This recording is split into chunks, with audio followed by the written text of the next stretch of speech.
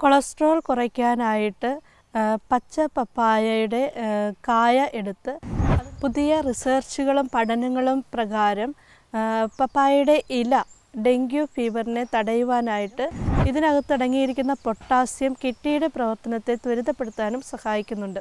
മുഖത്തുണ്ടാകുന്ന പാടുകൾ മാറ്റുവാൻ അല്ലെങ്കിൽ മുഖത്തെ ചുളിവുകൾ മാറ്റുവാൻ അല്ലെങ്കിൽ മുഖത്തുണ്ടാകുന്ന ക്ഷീണം മാറ്റുവാനൊക്കെ സോഫിയ ടൈംസിന്റെ പുതിയ ഒരു എപ്പിസോഡിലേക്ക് സ്വാഗതം. ഞാൻ sister Tintu George M S M I Vimalamary Ayurveda mission ഹോസ്പിറ്റലിൽ വർക്ക് ചെയ്യുന്നു.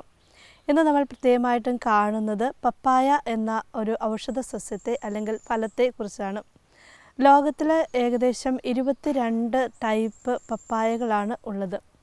പപ്പായയുടെ ജന്മദേശം എന്ന് പറയുന്നത് മെക്സിക്കോ അല്ലെങ്കിൽ സൗത്ത് അമേരിക്കയാണ്. അവിടെ നിന്നും കയറ്റി വന്ന ഒരു സസ്യമായിട്ടാണ് പപ്പായയെ കാണുന്നത്. മാലാഖമാരുടെ പഴം അല്ലെങ്കിൽ ഫ്രൂട്ട്സ് ഓഫ് ഏഞ്ചൽസ് എന്നാണ് കൊളംബസ് ക്രിസ്റ്റഫർ കൊളംബസ് പപ്പായയെ വിശേഷിപ്പിക്കുന്നത്. നമുക്കറിയാം ഏറ്റവും സോഫ്റ്റ് ആയിട്ടുള്ള ഒരു നേച്ചറാണ് ഈ പഴത്തിന് ഉള്ളത്. ഇതിന്റെ ചെടി തായ്തണ്ടോട് കൂടിയ ചെടിയിൽ തട്ടുതട്ടായിട്ടാണ് ഇതിന്റെ ഇലകൾ കാണുന്നത്. ഇതൊരു മൂന്ന് തരത്തിലുള്ള മരങ്ങളാണ് കാണുന്നത്. ആൺ മരം പെൺമരം അതുപോലെ തന്നെ ഉഭയമരം. ഈ ഉഭയമരങ്ങളിലാണ് ധാരാളമായിട്ട് പഴങ്ങൾ കാണുന്നത്. കാരണം ആൺപൂവും പെൺപൂവും ഒന്നിച്ച് ഈ കപ്പളത്തിൽ നമുക്ക് കാണാനായിട്ട് സാധിക്കും. പപ്പായ കപ്ലങ്ങ ഓമയ്ക്ക ഇങ്ങനെ പല പേരുകളിലാണ് കേരളത്തിലെ ഈ പഴം അറിയപ്പെടുന്നത്. ഏറ്റവും പ്രധാനമായിട്ട് പപ്പായൻ എന്ന എൻസൈം കൂടുതൽ ഉള്ളത് കപ്ലങ്ങയിലാണ്. ഈ എൻസൈം പ്രോട്ടീൻ പ്രോട്ടീനെ ഡൈജസ്റ്റ് ചെയ്തുകൊണ്ട് ശരീരത്തിലെ പ്രോട്ടീനുകളെ ആകിരണം ചെയ്യാനായിട്ട് സഹായിക്കുന്നുണ്ട്.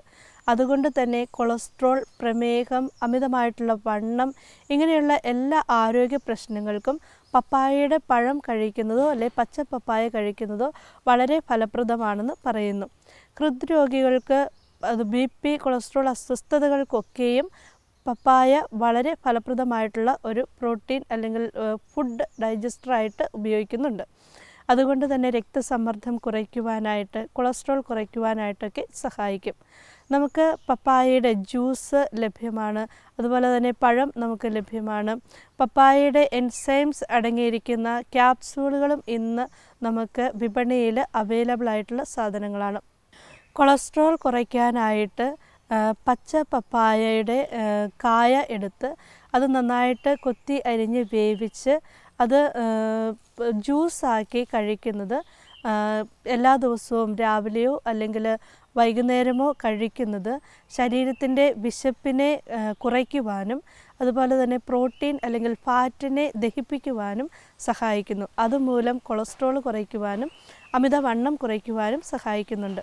പ്രത്യേകിച്ച് പ്രമേഹ രോഗികൾക്ക് ഇത് കഴിക്കുന്നത് നല്ല ഒരു ഫുഡായിട്ട് അല്ലെങ്കിൽ അവരുടെ ഒരു നേരത്തെ ആഹാരമായിട്ട് തന്നെ കണക്കാക്കപ്പെട്ടുകൊണ്ട് ഗ്ലൂക്കോസിന്റെ അളവിനെ കുറയ്ക്കാനായിട്ടും സഹായിക്കുന്നുണ്ട്. ശരീരത്തിന്റെ സൗന്ദര്യ സംരക്ഷണത്തിന് അല്ലെ ത്വക്കിലുണ്ടാകുന്ന അസ്വസ്ഥതകൾക്കൊക്കെയും പപ്പായ നല്ല ഒരു ലേപമായിട്ട് ഉപയോഗിക്കുന്നുണ്ട്. മുഖത്തുണ്ടാകുന്ന പാടുകൾ മാറ്റുവാൻ അല്ലെങ്കിൽ മുഖത്തെ ചുളിവുകൾ മാറ്റുവാൻ അല്ലെങ്കിൽ മുഖത്തുണ്ടാകുന്ന ക്ഷീണം മാറ്റുവാനൊക്കെ പപ്പായ നന്നായിട്ട് പഴുത്ത പപ്പായ അത് അതിന്റെ തൊലിപ്പുറത്തുള്ള കറ ഒക്കെ ചെത്തി കളഞ്ഞതിന് ശേഷം ജ്യൂസായിട്ട് മിക്സിയിൽ അടിച്ചോ അല്ലെങ്കിൽ കൈകൊണ്ട് നന്നായിട്ട് അതിനെ പിഴിഞ്ഞു അതിന്റെ ജ്യൂസ് അല്പം തേനും നാരങ്ങ നീരും ചേർത്ത് മുഖത്ത് പുരട്ടുന്നത് മുഖലേപനമായിട്ട് ഉപയോഗിക്കാവുന്നതാണ്. മുഖത്തുള്ള എല്ലാ പാടുകളും മാറ്റുവാനായിട്ട് സഹായിക്കും. പപ്പായയുടെ പാകമാകാത്ത കായ എടുത്ത് അത് നന്നായിട്ട് തോരൻ വെച്ച് കഴിക്കുന്നത് കുട്ടികളുണ്ടാകുന്ന വിരശല്യത്തെ മാറ്റുവാനായിട്ട് സഹായിക്കും. അതുപോലെ പപ്പായയിലെ കായകൾ അതിന്റെ കുരു കറുത്ത കുരു എടുത്ത് ഉണക്കി പൊടിച്ച് അത് പാലിൽ ചേർത്ത് കഴിക്കുന്നത് വലിയ ആൾക്കാരിലുണ്ടാകുന്ന കൃമിശല്യത്തിന് ഒരു ശാശ്വത പരിഹാരമാണ്. നമുക്കറിയാം ഈ പപ്പായയുടെ തൊലി അല്ലെങ്കിൽ കായ കഴിക്കുന്നത് അബോർഷൻ സമയ ഉണ്ടാക്കാൻ കാരണമാകുന്നുണ്ട്. അതുകൊണ്ട് തന്നെ ഗർഭിണികളിൽ ഈ കായയോ പഴമോ ഒന്നും കഴിക്കുന്നത് നമ്മൾ സാധാരണ പറയാറില്ല. അതിന്റെ കായോ എന്തെങ്കിലും അസ്വസ്ഥതകൾ ഉള്ളിൽ സൃഷ്ടിക്കുന്നത് കൊണ്ടാണ് ഇത് കഴി ഗർഭകാലങ്ങളിൽ ഈ പഴം ഉപയോഗിക്കാൻ പാടില്ല എന്ന് പറയുന്നത്. എന്നാൽ കിഡ്നി പേഷ്യൻസിന് അല്ലെങ്കിൽ കിഡ്നിക്ക് തകരാറുള്ള എല്ലാ വ്യക്തികളും ഹൃദയത്തിന് ബുദ്ധിമുട്ടുള്ളവരും ഈ പഴം എല്ലാ ദിവസവും കഴിക്കുന്നത് വളരെ നല്ലതാണെന്ന് പറയുന്നു. കാരണം ഇത് പ്രോട്ടീൻ ഡൈജസ്റ്റർ ആയതോട് ആയതുകൊണ്ട് തന്നെ നമ്മുടെ ശരീരത്തിൽ രക്തം നന്നായിട്ട് പമ്പ് ചെയ്യുവാനും ശരീരത്തിലുണ്ടാകുന്ന ബ്ലോക്കുകളെ ആകിരണം ചെയ്യുവാനും ഇതിനകത്തടങ്ങിയിരിക്കുന്ന പൊട്ടാസ്യം കിഡ്നിയുടെ പ്രവർത്തനത്തെ ത്വരിതപ്പെടുത്താനും സഹായിക്കുന്നുണ്ട്. അതുകൊണ്ട് തന്നെ പപ്പായ കിഡ്നി രോഗികൾക്കും ഹൃദ്രോഗികൾക്കും ഏറ്റവും ഫലപ്രദമായിട്ടുള്ള ഒരു ഫ്രൂട്ടായിട്ട് ഉപയോഗിക്കുന്നു. പുതിയ റിസർച്ചുകളും പഠനങ്ങളും പ്രകാരം പപ്പായയുടെ ഇല ഡെങ്കി ഫീവറിനെ തടയുവാനായിട്ട് ഇല ഇടിച്ചു പിഴിഞ്ഞ് അതിന്റെ നീര് ദിവസവും പതിനഞ്ച് എം എൽ വീതം രാവിലെയും വൈകുന്നേരവും കുടിക്കുന്നത് ഡെങ്കി ഫീവറിനെ തടയുവാനായിട്ട് സഹായിക്കുന്നു. അതുപോലെ തന്നെ പ്ലേറ്റ്ലെറ്റ് കൗണ്ടുകളെ കൂട്ടുവാനും സഹായിക്കുന്നുണ്ട്. പപ്പായയുടെ കറ പൊൻകാരം എന്ന പൊടി അതോട് ചേർത്ത് പപ്പായയുടെ കറയും ചേർത്ത് മിക്സ് ചെയ്ത് അത് കാലിലുണ്ടാകുന്ന അരിമ്പാറ ആണി രോഗം എന്നിവയ്ക്ക് പുരട്ടുന്നത് ആണി രോഗവും അരിമ്പാറയും ഒക്കെ ശമിപ്പിക്കുവാനായിട്ട് സഹായിക്കും. ഇത് അത് കത്തി പോകുന്നത് വരെ ഈ പൊൻകാരവും പപ്പായയുടെ കറയും ദിവസവും രാവിലെയും വൈകുന്നേരവും പുരട്ടി ഒരു ഇരുപത് മിനിറ്റ് കഴിയുമ്പോൾ കഴി കളയേണ്ടതാണ്. അങ്ങനെ കുറച്ചധികം ദിവസങ്ങൾ ചെയ്താൽ മാത്രമേ ഇത് അരിമ്പാറ അല്ലെങ്കിൽ കാലിലുണ്ടാകുന്ന ആണി ഒക്കെ മാറുവാനായിട്ട് സഹായിക്കുകയുള്ളൂ.